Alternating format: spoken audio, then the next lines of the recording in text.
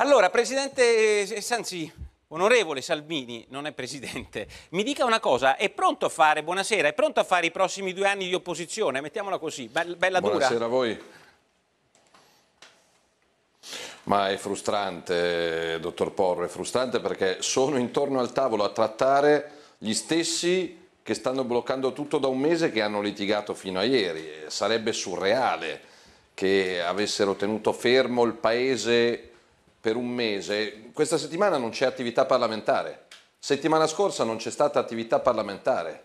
Eppure le emergenze ci sono, lei lo diceva, il piano vaccinale, l'assunzione di medici e infermieri, le scuole aperte a singhiozzo con migliaia di cattedre vuote, i rimborsi non arrivati. Noi abbiamo chiesto di entrare e lavorare in Parlamento questa settimana, ma il Parlamento questa settimana non funziona, perché c'è Fico che incontra la Boschi, c'è Renzi che litiga con Conte, eh, il sottotitolino che avete eh, dimentica una terza opzione che mi sembrerebbe quella più naturale, quella più dignitosa, quella più salutare fra Conte e Draghi, ma io sceglierei gli italiani, con tutto rispetto per l'uno e per l'altro. Come è possibile che si rimettano d'accordo quelli che stanno litigando da sei mesi? A meno che il tutto non fosse dettato da un cambio di poltrone. Eh, esce Lazzolina, entra la Boschi, esce Bonafede, entra Orlando. Se fosse così sarebbe una schifezza indegna di un paese come l'Italia. Però hanno litigato fino a settimana scorsa, non, non penso che trovino l'accordo oggi. Un governo tutti insieme, ma non puoi mettere tutti... Per fare cosa? Io sono per tagliare le tasse il PD ha sottoscritto il rinnovo del catasto e quindi l'aumento dell'IMU. Io sono per salvare quota 100 il diritto alla pensione e il diritto al lavoro. Il PD è per azzerare quota 100 e tornare alla legge Fornero. Io sono per aprire tutti i cantieri domani mattina, tutti, la Gronda di Genova, partire con i lavori per il ponte sullo stretto di Messina, la Roma Latina, la dorsale adriatica. I 5 Stelle, piuttosto che scavare eh, un tombino, fanno ricorso a 18 eh, comitati e, e, a 32 TAR e Corte dei Conti. Quindi non ci si può mettere tutti insieme pur di tirare a campare. Se trovano i numeri e o Conte o Renzi perdono la faccia evidentemente, vadano avanti perché l'emergenza, ripeto, eh, sono salute, scuola e lavoro. Lei ricordava 621 mila vaccinati in Italia in tutte queste settimane è esattamente il numero dei vaccinati in Gran Bretagna ieri. Ieri, ieri, sì, solo ieri. in un giorno, solo in un giorno. Ci hanno, detto, ci, han, ci, hanno detto, che il pericolo, Conte ogni volta che viene in Parlamento eh, si, si volta verso i banchi della Lega e dice il pericolo per l'Italia sono i sovranisti. Ci hanno spiegato che fuori dall'Unione Europea non c'era vita, come, come non c'è acqua su Marte, Guarda caso la Gran Bretagna ha scelto di uscire dall'Unione Europea e in un giorno, siccome ha comprato i vaccini in maniera più intelligente e per tempo, non firmando contratti farlocchi come hanno fatto a Bruxelles, in un giorno a Londra hanno vaccinato quanto l'Italia in tutte queste Aspetti settimane. un attimo là. Io vorrei eh, parlare di questo in Ma Parlamento. Lo, lo, Invece domani sui giornali ci sarà entra la Boschi, esce Orlando, ma chi se ne frega? Quindi fra Conte e Draghi io preferisco gli italiani, con tutto rispetto eh, sia per eh, Conte che per Draghi. Senta, eh, un attimo solo, senatore Salvini, perché eh, la Mennuni, voglio capire se sulla questione fondamentale, io lo so benissimo che sono gli italiani che contano e le cose vere sono dell'economia reale, però la politica, lei lo sa bene, fa il politico, ha un peso. Io come giornalista lo potrò pur dire, e il rispetto della politica certo, ce l'ho, certo. perciò oggi io mi occupo di questo e spero di non occuparmene più e occupare dei problemi seri. Però Mennuni deve darmi se ce l'ha un'indiscrezione su quello che diceva il professor Celotto, cioè Fico domani deve andare al Quirinale. Abbiamo una minima indiscrezione di quello che Fico dirà, perché dice o sono riuscito a trovare una maggioranza coesa o non ci sono riuscito. Certo. All'una glielo dovrà dire. Cosa si dice a Roma? Sì Nicola, eh, da fonti insomma, vicine alla, alla presidenza del, della Camera i tempi potrebbero non essere così lunghi come si pensava oggi in giornata, cioè Fico potrebbe andare da Mattarella e far capire al Presidente della Repubblica che la maggioranza tendenzialmente c'è e potrebbe andare avanti, quindi se il Presidente della Repubblica dovesse insomma, accogliere in pieno il lavoro del Presidente della Camera potrebbe a quel punto dare l'incarico con riserva al, a Giuseppe Conte e a quel punto sarebbe Conte a portare avanti avanti le trattative. A quel punto, scusi, eh, Salvini, arriva un secondo, io mi faccio solo spiegare a beneficio perché lei lo capisce, i cittadini, poi tutte queste manovre, l'esploratore, il non esploratore, la maggioranza, soprattutto perché la stessa maggioranza di prima non è che riescono a capirle bene, perciò chiedo a Celotto e quindi a quel punto domani pomeriggio potrebbe salire Conte al Quirinale? Beh, a quel punto se l'esplorazione è positiva, le, le, tre soluzioni, 1x2, esplorazione positiva, eh, sale, Conte, sale Conte al cioè, Fico dà l'ok e quindi Conte sarà chiamato domani o dopodomani. Opzione 2, non c'è maggioranza, si prova il governissimo, il governo del Presidente, la grande coalizione. Opzione 3, l'ultima per Costituzione, articolo 88, si sciolgono le Camere anticipatamente e si va a votare. Allora lei Salvini però oggi mi ha colpito perché lei invece ha dato un'opzione che non so se sia la 1, la 2 o la 3, la faccia capire bene agli italiani appunto. Cos'è il governo di scopo? Cosa sta dicendo? Cosa vuol dire quella roba là che ho sentito per capirla? No, no, guardi, la via maestra normale, naturale, dignitosa eh, è impegnare due mesi per non rompere le scatole agli italiani per i prossimi cinque anni. Eh, la, sa secondo me come finisce domani? Come finisce? Che vanno avanti altri giorni.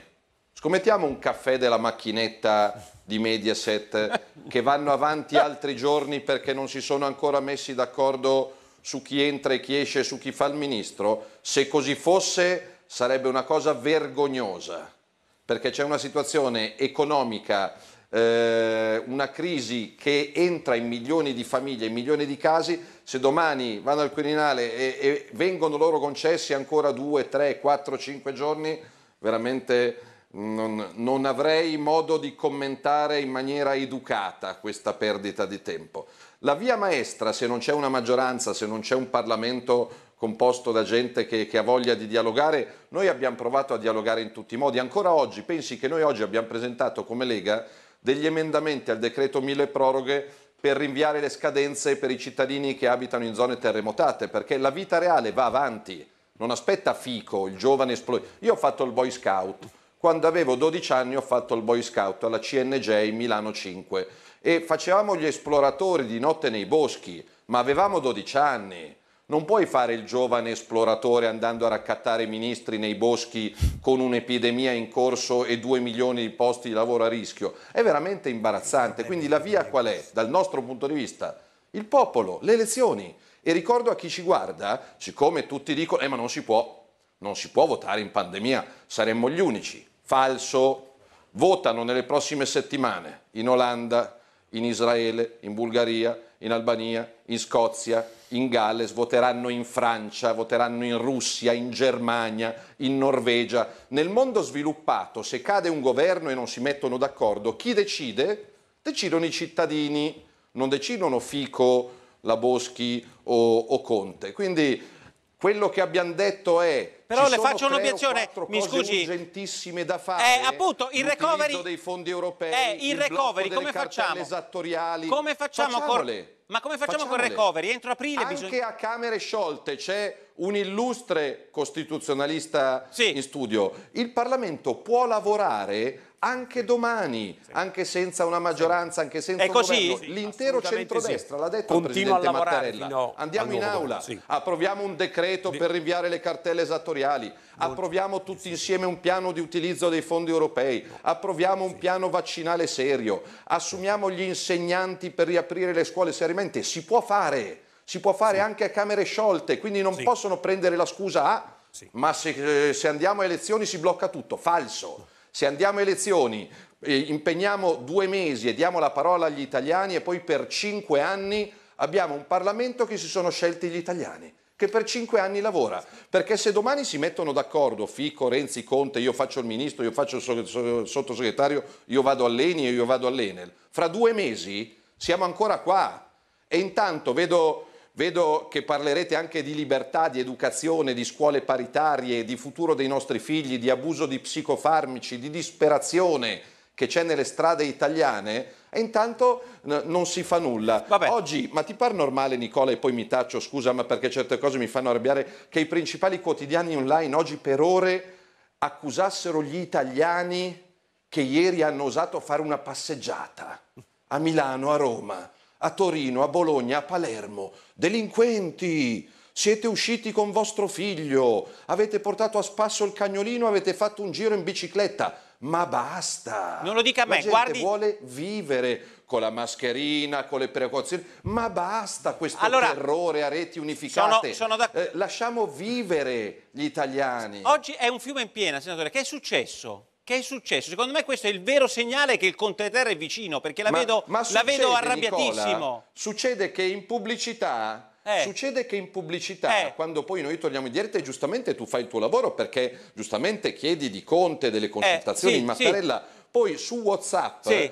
o su Facebook o su Instagram scrivono i sindaci. Scrivono i ristoratori, scrivono i gestori delle palestre, scrivono i precari che lavorano nel turismo della montagna e ancora non si è capito se si può andare in montagna o non si può andare in montagna mentre il resto del mondo corre. Noi siamo qua a passeggiare. Quindi capisci che giustamente tu, come molti colleghi giornalisti, chiedi a me ma come finisce? Vince Conte, vince Renzi. E siccome la vita reale non è il derby Conte-Renzi, ma sono i problemi del lavoro e della scuola, a me viene da dire ma questi vivono su Marte. Allora, a me piacerebbe che fossero gli italiani a decidere chi vince. Facciamo vedere... Facciamo un vedere senato di Vinaville. Allora, siccome... il problema vero è che il Senato e alla Camera ci sono i parlamentari Vinaville incollati alla poltrona. Bene, e lo sa che anche un po' di parlamentari suoi con la nuova riforma li perderà, eh? anche se dovesse prendere le percentuali alte che le attribuiscono, senatore eh, Salvini. Cioè lei, nonostante Ma guardi, noi abbiamo è considerato... sette ministeri. Dottor Porro, noi per mantenere la nostra coerenza e rispetto nei confronti degli elettori, visto che eh, i 5 Stelle ci bloccavano ogni tipo di riforma che proponevamo dopo un anno, la flat tax, l'autonomia, la riforma della giustizia, sì. la riforma del lavoro, noi abbiamo detto, allora sapete cosa c'è? Noi non stiamo al governo giusto per dire chiamatemi ministro, diamo la parola agli italiani si sono messi insieme per non dare la parola agli italiani, ma alla fine i nodi vengono al pettine, dottor Porri. Io ver veramente spero che siano gli italiani è la prima volta che mi decidere, chiama, perché la... teoricamente appartiene al popolo la sovranità. Allora, seg i segnali sono importanti. Il senatore Salvini per la prima volta mi ha chiamato dottor Porro, vuol dire che è furibondo. Sì. Eh, andiamo a vedere che cosa succede all'interno del Ministero della Salute perché il tema fondamentale è una piccola notizia. In realtà Salvini l'ha detta prima, voi la conoscete bene, la posizione di Quarta Repubblica, che è quella di rispetto delle leggi, ma anche quella di cercare, l'abbiamo fatto dall'inizio della pandemia, di raccontare la pandemia con non toni eh, diciamo di allarme, soprattutto di colpevolizzazione degli italiani. L'altro giorno giorno, quando stavano andando in eh, zona gialla alcune regioni, non per uno spirito divino, ma per lo stesso algoritmo del governo, all'interno del governo c'è stata una furibonda battaglia, senatore Salvini. Perciò io mi chiedo, qua stanno discutendo i ministeri di tutti quanti, ma non stanno discutendo la questione fondamentale, cioè il Ministero della Salute, che ha al suo interno forse una parte, una componente un po' meno attenta, mettiamola così, alla lista della spesa che lei continuamente fa gli autonomi, il lavoro, i privati, i ristoratori. Guardi, le continuo anch'io perché anche a me mi arrivano quantità innumerevoli, perché guardi, se 110.000 persone hanno perso il lavoro tra novembre e dicembre con il blocco delle assunzioni, immagini lei che cosa verrà quando non ci sarà il blocco delle assunzioni. Guardate che succede alla salute e lo voglio commentare con Salvini.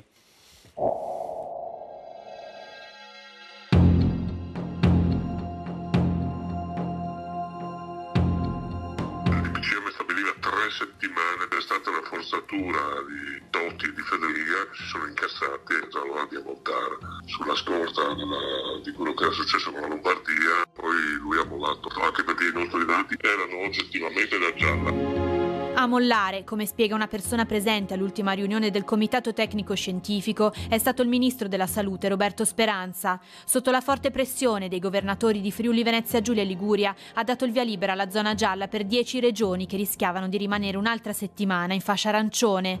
Da una parte le istanze economiche, dall'altra la rigida interpretazione dei dati. E anche riuscire a capire che c'è un contesto fuori che rischia di ammalarsi d'altro. Non è la prima volta che le regioni si scontrano col ministro, esponente della linea del rigore e delle chiusure per il contenimento del virus, come spiega una fonte del ministero. Lo scontro è stato epocale. Urla, insulti, di tutto e di più in quelle riunioni. La Presidenza del Consiglio è dovuta intervenire. Le limitazioni previste dovranno essere rafforzate. Abbiamo l'obbligo di prendere nuove misure. Dobbiamo continuare con misure chiare e rigorose la terza ondata è dietro l'angolo. Laureato in scienze politiche, leader di Articolo 1, partito fondato con Massimo D'Alema dopo la scissione dal PD renziano, Speranza è diventato ministro in quota Leu ed è considerato l'erede della tradizione della sinistra di Bersani e D'Alema.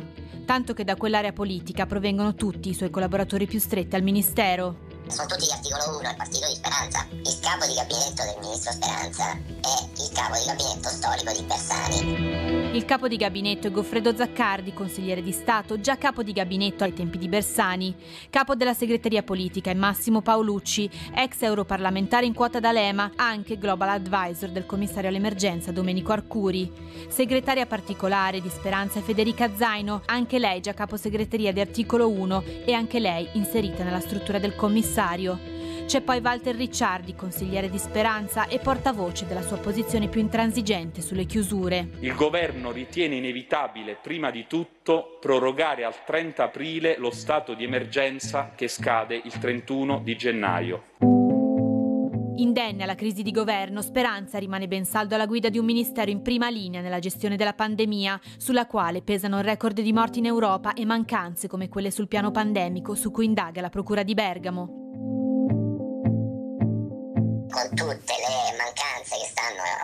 emergendo anche in questo eh, periodo, penso solo alla Procura di Bergamo, che non mi sembra aver mai usato una parola di stigmatizzazione di quello che è emerso nella condotta dei suoi dirigenti. Anzi, Speranza ha sempre parlato di modello italiano e rivendicava così a luglio il primato dell'Italia anche sui vaccini. Su questo terreno l'Italia è avanti. Siamo stati noi, io in modo particolare, col ministro della Germania, dell'Olanda e della Francia a sottoscrivere un'intesa per tutti i paesi europei per 400 milioni di dosi, di cui le prime 60 da consegnare entro la fine dell'anno.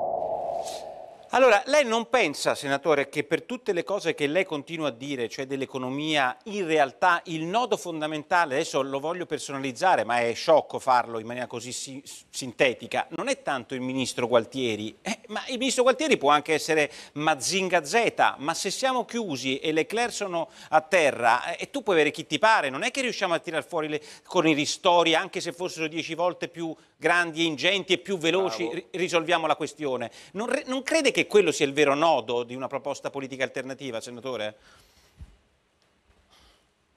Sì, e voi avete ricostruito perfettamente il fatto che il Ministero della Salute è, è retto da un partito, perché c'è tutta la segreteria di un partito che sfido i telespettatori a, a, a ricordarne l'esistenza, l'EU, articolo 1. Cioè gli ultimi dalemiani e bersaniani sono rimasti a guidare il Ministero della Salute se lo facessero in un momento normale sarebbe poco rispettoso nei confronti di medici, infermieri e personale sanitario, ma va bene, abbiamo viste di peggio. In un momento in cui è strategica ogni scelta, ogni decisione, ogni apertura, ogni chiusura, ogni nomina, vi ricordate che per mandare un commissario alla sanità in Calabria ne hanno dovuti cambiare cinque perché ne pigliavano uno peggio dell'altro sulla pelle dei calabresi? Ma vogliamo dirci che in questo momento, questa sera, lunedì 1 febbraio, con le richieste che arrivano dalle regioni, mandateci medici. Io oggi ero in Regione Lombardia, hanno chiesto fateci usare anche gli specializzandi, cioè coloro che sono già laureati in medicina, che non hanno finito il percorso di specializzazione per vaccinare, per andare in corsia d'ospedale. In Lombardia si è fatto un accordo con le farmacie per permettere ai farmacisti affiancati dai medici di vaccinare, quindi ci si sta ingegnando per correre e sapete che il, il commissario Arcuri, nominato appunto da, da Speranza e da Conte, invece ha fatto un bando da centinaia di milioni di euro per le primule. Per le primule. Ne parliamo tra tendoni, poco. dei capannoni ne parliamo, ne parliamo, ne parliamo. 400.000 a tendone. Ma secondo te l'emergenza in questo momento è assumere medici e infermieri e trovare i vaccini o costruire delle primule? Nelle città italiane, ma questi veramente ci prendono per festa. Le faccio, le faccio Quindi, una... ripeto, eh, leggevo adesso che, che il PD chiede più tempo, tradotto per chi ci guarda da casa. Domani non se ne esce perché si stanno scannando sui ministri, sulla giustizia, sul MES, sulle autostrade. Io faccio appello al Presidente Mattarella, in cui confido che è il garante dell'unità e della tenuta sociale di questo Paese. Presidente, non permetta che passino altri giorni, altre ore perse, perché ogni giornata persa è un'azienda che chiude, è un operaio che rimane a casa senza portare a casa lo stipendio e il pane per i suoi figli. Se hanno i numeri domani, vengano in Parlamento, ce lo raccontino e lavoriamo sulla salute, sulla scuola e sul lavoro. Se non hanno i numeri, a casa, basta, fine. Senta Decidono questo... gli italiani e dentro Pasqua c'è un nuovo Parlamento con un nuovo governo. Va bene. Pensi va be- oggi è il primo febbraio, sembra, sembra una roba marziana se andiamo a votare entro Pasqua. No, no, 60 giorni, no, no, no, no. Ce la facciamo entro Pasqua. C'è un nuovo Parlamento, un nuovo governo. Fermo, fermo Salvini, ce la facciamo entro...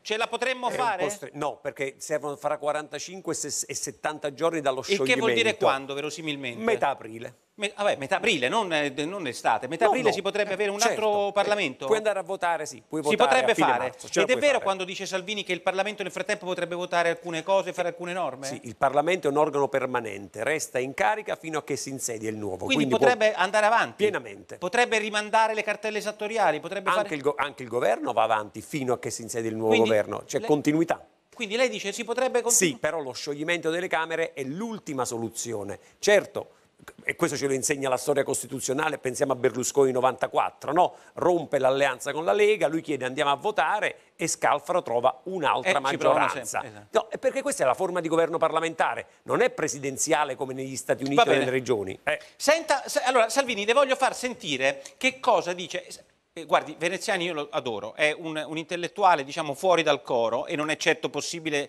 definirlo un amante del governo Conte, però senta un, una breve parte della sua intervista che poi vedremo rilasciata a Savatteri perché riguarda Prego. il centrodestra, senta un attimo, è brevissima. Credo che la destra italiana non faccia bene a irrigidirsi sulla posizione o il voto niente, anche perché rischia di essere un supporto a un governo Conte-Ter. Eh, perché se non ci sono altri margini di eh, manovra e se non c'è la prospettiva, per esempio, di un governo istituzionale, eh, l'unica cosa che resta è che questa maggioranza leggermente modificata possa partorire un governo e l'ipotesi più probabile a quel punto resta Conte. Nel 2018 Salvini costituisce il governo giallo-verde e Berlusconi praticamente gli dà via libera. Oggi invece questa possibilità perché non viene data da Salvini a Berlusconi? Ma penso che in effetti con il precedente di Salvini che ha fatto un governo con i grillini ma è rimasto nell'area del centrodestra, anche Berlusconi in teoria potrebbe fare un governo istituzionale restando nell'area del centrodestra. Però a me interessa, scusi, la prima parte dell'intervista, che è una parte che io vorrei spiegare bene ai nostri telespettatori. Salvini, scusi eh, se parliamo di politica e non di, e, e non di economia reale, ma col fatto che lei chiede le elezioni col fatto che lei chiede le elezioni, col fatto che una parte del centrodestra chiede le elezioni, lei mi ha spiegato prima il Vinaville, cioè hanno tutti paura di perdere il loro seggio e quindi più chiede le elezioni lei e più si metteranno d'accordo per fare un Conte Ter. Tesi veneziani, l'ho ripetuta meno bene dei veneziani, ma a beneficio di tutti quanti perché sia sottolineato. Cioè, il Vinaville, se lei dice le elezioni, diventa molto più incollante, eh, senatore Salvini. Allora cosa dovrei dire? Che vado al governo col PD? Con Zingaretti e la Boldrini? Per cancellare quota 100 e tornare alla legge Fornero? Eh, non riesco, non riesco. Magari qualche politico più abile, alla Mastella o alla Di Maio, verrebbe da lei e siccome gli conviene dice no, tranquilli italiani, ci penso io. Faccio un governo Salvini, Boldrini, Zingaretti, Fico, ma le sembra normale? Le sembra serio? Le sembra rispettoso?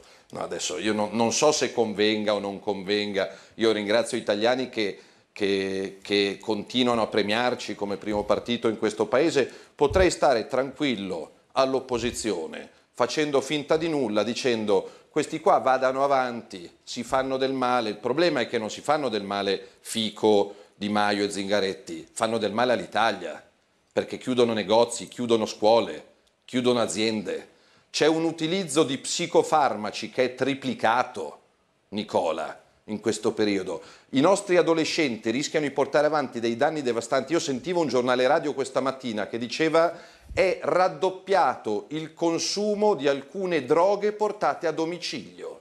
È chiaro che se tu non fai uscire la gente, se tu tieni chiusi in casa, tieni chiuse le scuole, chiusi i teatri, chiusi i cinema, chiuse le palestre, le piscine, gli impianti sportivi, non puoi fare gli allenamenti, non puoi andare qua, cosa fai? Stai a casa, ti sballi, ti ammazzi di internet e vedi i bimbi che vanno su TikTok e si impiccano, ordini la droga a pagamento a casa tua. Io non posso andare al governo, Nicola, con chi ritiene che alcune droghe siano un passatempo, un simpatico svago. No, la droga è merda, la droga è morte. Io sono per la vita, non Al, per la alcuni morte. c'è andato al governo con alcuni di quelli. Facciamo eh? il governo di salvezza nazionale.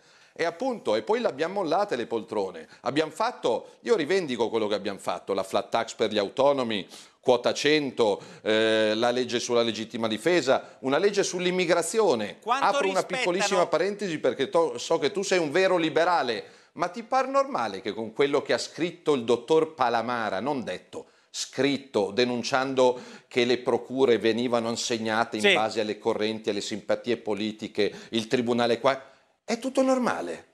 No, non no, c'è no. un'inchiesta, No, no, ma- non c'è sdegno. Fer- fermo là, fermo là, Ma- Salvini. Ma, non siamo un Mi faccia fare una domanda su questo, perché quello noi- dove sembra normale assegnare le procure delle repubbliche in base alle simpatie politiche e poi indagate Salvini perché ci sta sulle palle. Eh, facciamo scegliere gli italiani, Nicola. Allora, facciamo di- scegliere. eh, Luca Palamara insieme ad... riforma della giustizia Ecco, fa- fa- mi faccia dire, Luca Palamara e Alessandro Sallusti tra poco arriveranno qua perché quella roba lì, certo, noi ne parliamo, ma proprio nel dettaglio. Facciamo un, un 40 minuti solo con loro perché quello che c'è in quel libro è una commissione d'inchiesta. Però Io sto oggi... leggendo il Ru- libro che hanno scritto ed è allucinante. Ma oggi Ruggeri, un parlamentare di Forza che lo leggano in tanti. Sì, oggi un parlamentare di Forza Italia, Ruggeri, chiede di fare una commissione d'inchiesta. Ha letto il libro e ha detto è incredibile quello che esce. Lei è d'accordo? Sono su una- pienamente d'accordo. Cioè la Lega farà, farà richiesta come con Forza Italia di fare una commissione d'inchiesta bicamerale o parlamentare su quello che è, è stato diciamo, l'affair Palamara?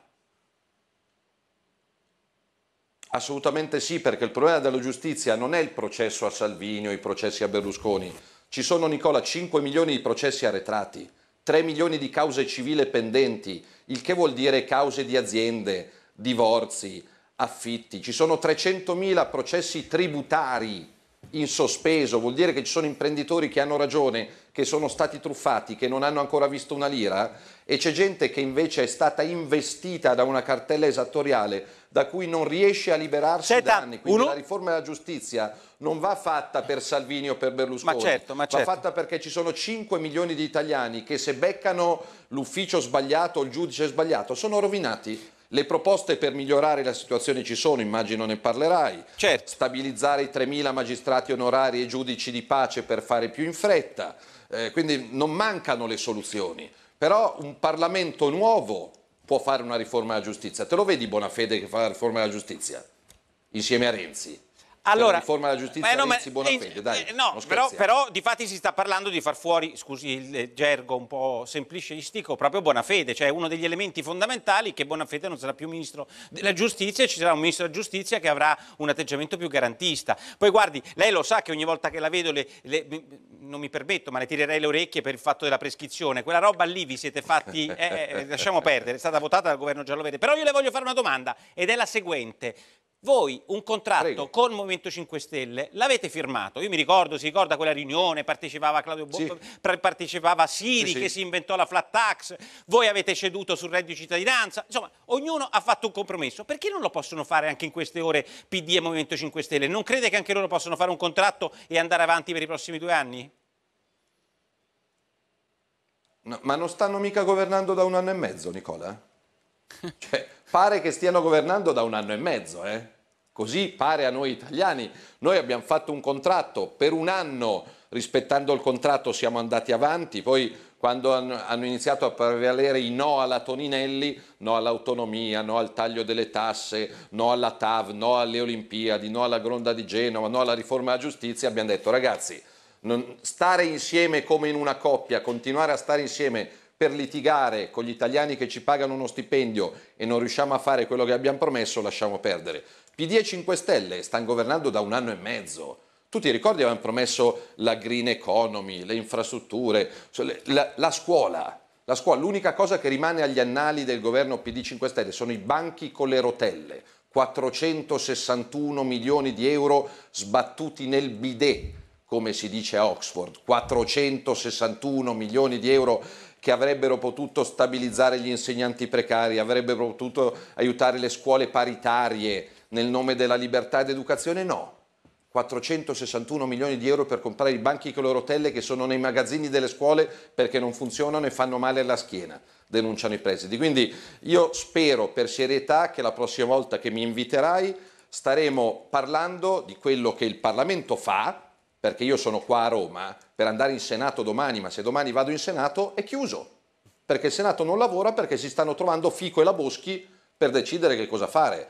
E invece io vorrei che il Senato approvasse un piano vaccinale serio, una riforma del lavoro perché il 31 marzo, tu sei uno dei pochi che ne parla, fammi dire solo questo, oggi è il primo febbraio, il 31 marzo è dietro l'angolo, con lo sblocco dei licenziamenti, gli imprenditori non perché sono cattivi, ma per ripartire e non portare i libri in tribunale dovranno rinunciare a qualche collaboratore. E ci sono due milioni di posti di lavoro a rischio.